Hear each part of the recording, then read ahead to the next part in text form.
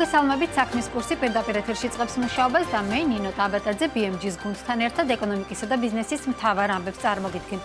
1 აგვისტოდან საქართველოსთან რუსეთში ამერიკიდან შემოყვანილი ავტომობილების ექსპორტ-რეექსპორტი აიკრძალა, ხოლო ევროკავშირიდან შემოყვანილ ავტომობილებზე აკრძალვა 26 სექტემბრიდან ამოქმედება. ამის შესახებ BMG-ს შემოსავლების სამსახურში განუცხადეს და აღნიშნეს, რომ ცვლილება სანქციების უახლესი პაკეტის ძალაში შესვლას უკავშირდება. შეზღუდვა შეეხო ამერიკიდან იმპორტირებული ავტომობილების ექსპორტ-რეექსპორტს ბელარუსშიც. ამ დრომდე არსებული განმარტებით 2025 წლის სექტემბრის ჩათვლით შესაძლებელი იქნება იმ ავტომობილების ექსპორტზე გატანა, რომელთა გატანაზეც ხელშეკრულება 25 ივნისამდე გაფორმდა, რასაც სანქციების მე-11 პაკეტი ითვალისწინებს. შეზღუდვა ეხება 1.9 ლიტრზე დიდი მოცულობის ძრავის მქონე ავტომობილების რუსეთში შეყვანას. ნახოთ რა რაოდენობის ავტომობილები გადის რუსეთსა და ბელარუსში უშუალოდ საქართველოსთან საქსტატის მონაცემებით 2023 წლის 6 თვეში საქართველოსთან რეექსპორტზე 991 მილიონი დოლარის ავტომობილები გავიდა. საიდანაც რუსეთში გავიდა 3786 ერთეული 52.9 მილიონი დოლარის ღირებულების ავტომობილები. ამ მაჩვენებლით რუსეთი ტოპ 5 ბაზარ შორის არის ზრდა კი 274%-ია ერთი ავტომობილის საშუალო ფასი 14000 დოლარია. რაც შეეხება ბელარუსს ბელარუსში 129 ერთეული თითქმის 2.5 მილიონი დოლარის ავტომობილები გავიდა. საშუალოდ ერთი ავტომობილის ღირებულება 19000 დოლარს შეადგენს. როგორ აისახება შეზღუდვა ავტობაზარზე, ჩემი კოლეგა ელენე გოგბერაშვილი მუშაობს თემაზე და მეტი დეტალით 1 საათში შემოგვიერთდება.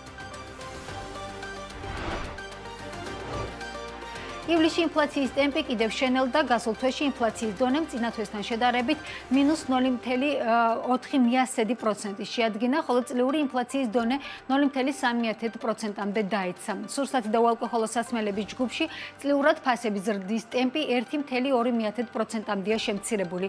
კლებაა ჯანდაცვის, კავშირგაბმულობისა და ტრანსპორტის ჯგუფებში, თუმცა 11%-ით გაიზარდა სხვადასხვა საქონლისა და მომსახურების ფასები, უმეტესწილად აქ 28%-ით მომატებულია საფინანსო მომსახურების ჯგუფში ფასები პირადი ჰიგიენა 9%-ით გაძვირდა, თითქმის 5%-ით გაიზარდა კომუნალური სექტორის მიმართულება. აღსანიშნავია, რომ ინფლაციის კლებას კლების ტენდენცია უკვე 10 თვეა ნარჩუნდება. ეროვნული ბანკის პროგნოზით ინფლაცია შემდგომ თვეებში მიზნობრივ 3%-ზე დაბალ ნიშნულზე იქნება, ხოლო საშუალოვადიან პერიოდში 3%-ის ირგვლივ დასტაბილურდება. პოზიტიური ტენდენციების მიუხედავად, ინფლაციური რისკები კვლავ მაღალია, მიჩნევს ეროვნული ბანკი, მიმდინარე მწვავე გეოპოლიტიკური მდგომარეობა სასაქონლო ბაზრებზე გაურკვევლობა ზრდის საგარეო რისკებთან ერთად ადგილობრივი ეკონომიკური ტენდენციებიც ინფლაციაზე ზეწოლის კუთხით ჯერ კიდევ საყურადღებოა განაცხადა გუშინ ეროვნულმა ბანკმა ფერო შენადნობების ბაზარზე ფასების კლება ივლისშიც გაგრძელდა. გალთენ თაგართის მონაცემებით 2023 წელს ივლისში ჩინეთის ბაზარზე ფიუჩერსების ფასი წინათვისთან შედარებით 0.7%-ით შემცირდა. ევროპაში კლება უფრო მკვეთრია და თითქმის 9%-ს შეადგენს. ამასთან წლის დასაწყისიდან ჩინეთის ბაზარზე ფასები 16%-ით დაეცა ევროპაში კი 22%-ით ამ დროისათვის 1 ტონა ფერო სილიკომანგანუმის ფასი ჩინეთის ბაზარზე 1375 დოლარია ევროპის ბაზარზე 1540 21 დოლარი. ფერო შენადნობების ბაზარზე კრიზისი გრძელდება საქართველოსშიც, თუმცა მაისის რეკორდული ვარდნის შემდეგ ექსპორტში ცირე გამოცოცხლება შეინიშნებოდა. თუ მაისში ექსპორტზე 2 მილიონი დოლარის ფეროს პროდუქცია იყო გატანილი, ივნისში ექსპორტი 23 მილიონ დოლარამდე გაიზარდა. თავარი საექსპორტო ბაზარი კი ამერიკის შეერთებული შტატები იყო, სადაც 21 მილიონი დოლარის პროდუქცია გავიდა. წლის 6 თვეში კი საექსპორტო ბაზრებზე 110 მილიონი დოლარის ფეროს შენადნობებია გატანილი, წლიურად კლება 64% ფასს აღწევს. რა ტენდენციებია დღეს ბაზარზე და რა გეგმები აქვს სფეროს მწარმოებელ უმსხვილეს კომპანიას? 15 საათზე და 30 წუთზე სტუმართან ერთად ვისაუბრებთ. რეფინანსირების განაკვეთის შემცირების ფონზე მიკროსაფინანსო ორგანიზაციების ნაწილში სასესხო პორტფელის ზრდას ელიან MBC-ის გენერალური დირექტორის განცხადებით, კაცრმა მონეტარულმა პოლიტიკამ და რუსეთ-უკრაინის ომმა ორგანიზაციების მიერ გაცემული სესხების რაოდენობა შეამცირა. გია პეტრიაშვილის თქმით, მეწარმეები ინვესტიციების ჩადებისა და სესხების აღებისგან თავს იკავებენ. ეროვნული ბანკის მხრიდან მონეტარული პოლიტიკის შერბილება კი მისი შეფასებით სურათ შეცვლის.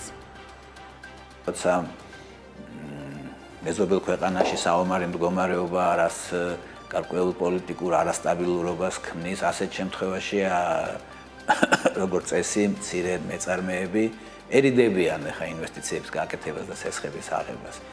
ამას დისტემპის შენელებამ ასევე ასე ვთქვათ ხელი შეუწყო და ამაზე გავლენა იქონია მაღალი რეფინანსირების განაკვეთმა, რაც ავტომატურად ნიშნავს სესხების გაძვირებას. ეხლა რა თქმა უნდა ველოდებით რომ შერბილება ამ პოლიტიკისა.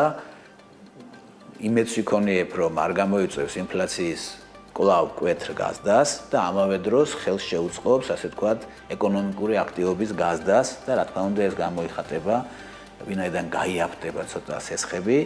ხო ეს გამოიწვევს ასე ვთქვათ პორტფელის დისტემპის შედარებით გაზდა რა ტენდენციები ამ დროისათვის დაკრედიტების ბაზარზე ჩემი კოლეგა გიგაბენია მუშაობს თემაზე და ახლა ეს ტენდენციებს დღის ბოლოს გაგვაცნობს.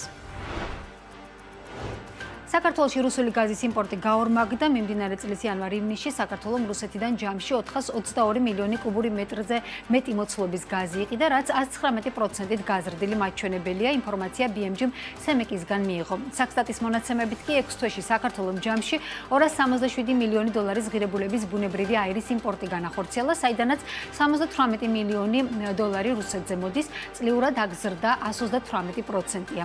საქართველოსთვის ბუნებრივი გაზის მიწოდება კონტრაქტების უმთავრეს წყაროდ კლავაც რჩება აზერბაიჯანის რესპუბლიკა. სხვადასხვა კონტრაქტების მეშვეობით საქართველოს აზერბაიჯანიდან იღებს საჭირო ბუნებრივი გაზის 83%-ს.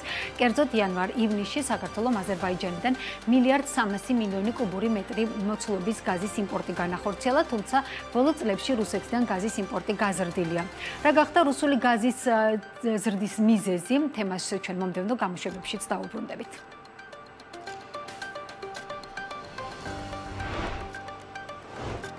საქმის კურსი ამით დასრულებულია. ეთერში ბრუნდებით 1 საათში დაგვალოდეთ